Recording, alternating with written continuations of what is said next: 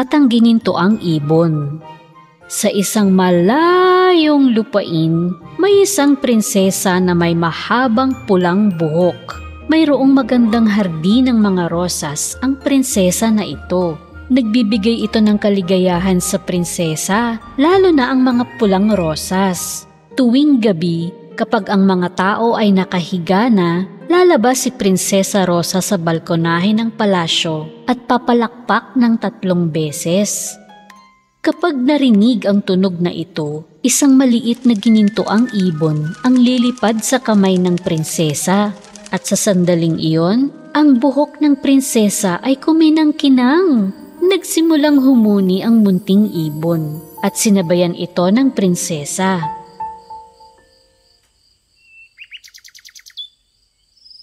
Sa kanyang magandang tinig, umawit siya ng oyayi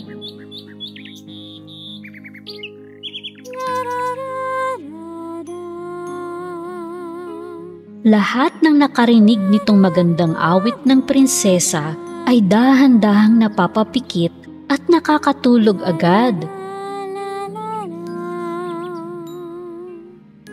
Managinip ng maganda, mahal kong mga kababayan. Lumilipas ang mga gabi ng mapayapa, salamat sa prinsesa ng mga rosas. Isang araw, isang mangkukulam na may matulis na sombrero ang nag-ikot sa palasyo ni Prinsesa Rosa sakay ng lumilipad na walis.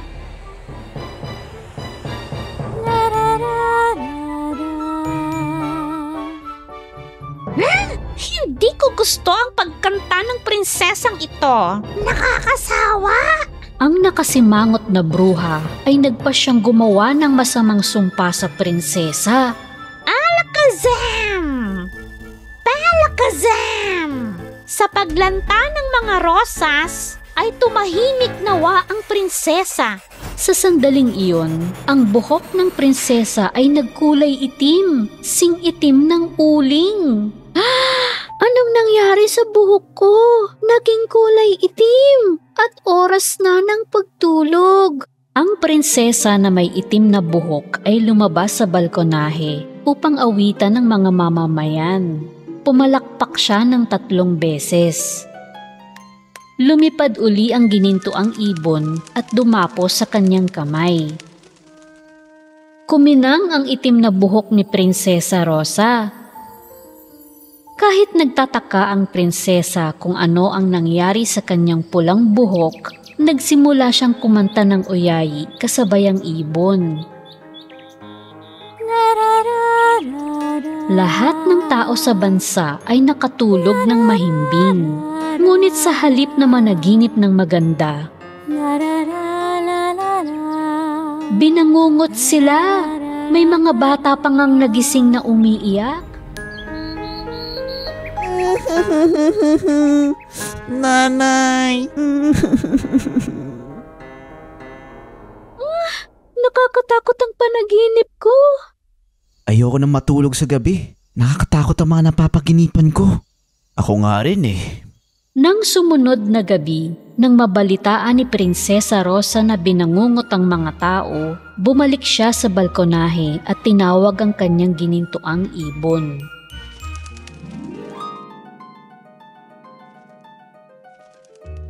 Aking munting ibon, ayoko nang bangungutin ng mga tao. Tulungan mo akong pagandahin ang panaginip nila bago mag-umaga. Mapangiti nawa ng mga rosas ang kanilang buhok. Tweet, tweet, tweet. Mapangiti nawa ng mga rosas ang iyong buhok. Tweet, tweet, tweet, tweet, tweet, tweet.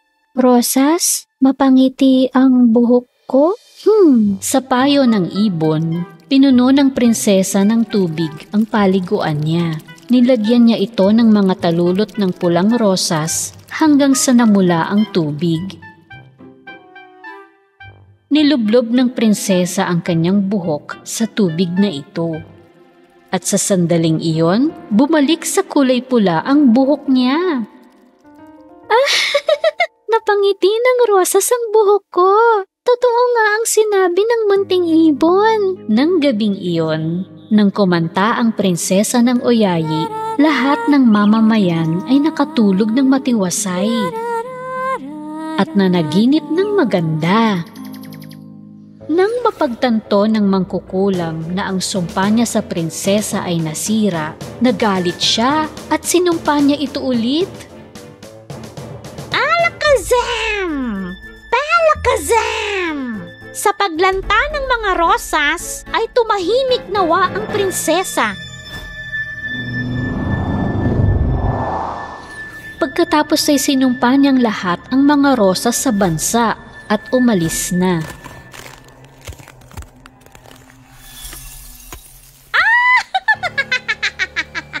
Sobrang nainis si Prinsesa Rosa nang makita niyang kasing itim ng uling na naman ang kanyang buhok. Nangyayari sa akin?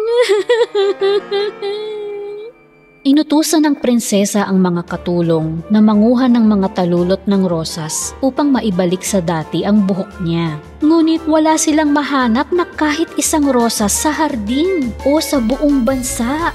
Anong gagawin ko ngayon, munting ibon? Sabihin mo, ha? Mapangiti nawa ng mga rosas ang iyong buhok. Tweet, tweet, tweet, tweet, tweet, tweet. Pero wala ni isang rosas sa buong bansa. Teka, huwag kang umalis. Sobrang sama ng loob ni Prinsesa Rosa na napaiyak siya ng malakas. Umagos ang luha niya at tumulo hanggang sa ibaba. Sa oras na iyon, isang gwapong lalaki ang dumating sa hardin ng palasyo. Nang makita ng binatang ito ang luhang pumapatak sa lupa, may inilabas siyang isang kahon. At sa loob ay may maninipis na hibla ng pulang buhok.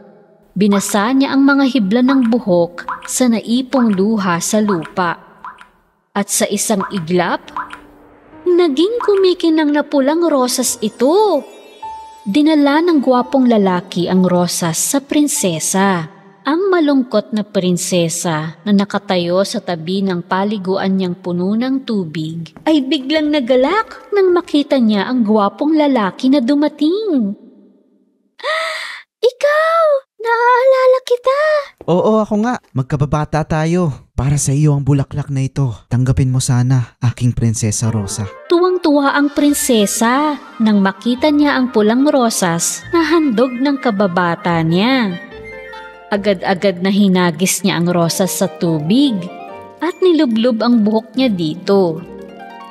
At sa wakas, nasirang muli ang sumpa ng bruha. Ang buhok na sing-itim ng uling ay naging pula uli. Sa nakitang kaligayahan ng anak na babae, ang hari ay nag-usisa. Iho, sabihin mo sa akin, paano mo nahanap ang rosas na ito? Gayong walang rosas na natira sa buong bansa. Nabuo ang rosas na ito nang mabasa ng luha ng ating prinsesa, ang hibla ng kanyang buhok na iningatan ko mula pagkabata. Mahal kong hari, wala pong katapusan ng katapatan ko. Tama po, Ama. Tingnan mo, ako rin ay may naitagong mga hibla ng buhok niya sa kahong ito. Humanga ang hari sa pinamalas na katapatan ng prinsesa at ng binata. Kaya naman, si Prinsesa Rosa at ang kanyang gwapong kababata ay ikinasal kinabukasan. Nang malaman ng bruha na ang sumpa niya ay nasira sa kapangyarihan ng pag-ibig, napagtanto niya na hindi siya magwawagi.